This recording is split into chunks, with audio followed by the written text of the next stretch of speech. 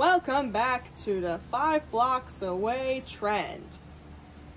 With me, Ron. Uh, Ron? You're literally just five blocks away. Five blocks. Ta da! I hope you enjoyed this segment. Don't forget to subscribe and check out my new movie.